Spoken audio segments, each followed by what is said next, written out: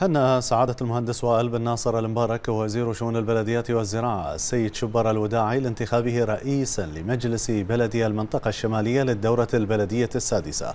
كما هنا السيدة زينة جاسم لانتخابها نائبا للرئيس. جاء ذلك خلال أولى جلسات مجلس بلد المنطقة الشمالية والتي تم خلالها انتخاب الرئيس ونائبه. بعد أن أدى أعضاء المجلس القسم أمام سعادة وزير شؤون البلديات والزراعة بحضور المهندس الشيخ محمد بن أحمد الخليفة خليفة وكيل الوزارة لشؤون البلديات والمهندسة لمياء الفضالة مدير عام بلدية المنطقة الشمالية وعدد من مسؤولي الوزارة. بهذه المناسبة قال المبارك أن التجربة البلدية في مملكة البحرين تجربة ثرية تمتد في تاريخها إلى عشرينيات القرن الماضي وقد تطورت خلال الأعوام الماضية بفضل الدعم الذي تحظى به من لدن جلالة الملك المعظم وسمو العهد رئيس مجلس الوزراء.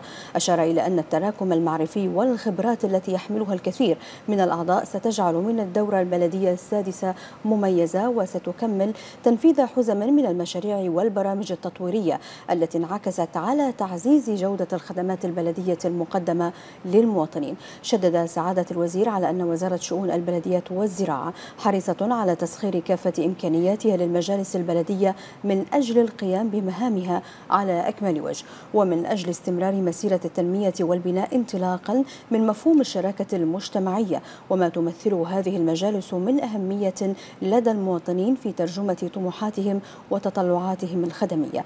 كما نوه المبارك إلى أن الوزارة تعمل على تهيئة الأرضية المناسبة لممارسة الأعضاء الجدد لمهامهم البلدية للدورة البلدية السادسة. عبر تنظيم مجموعة متكاملة من ورش العمل والمحاضرات المتخصصة في الموضوعات القانونية والاجتماعية بالإضافة إلى منهجية التعامل مع المؤسسات والأجهزة الحكومية.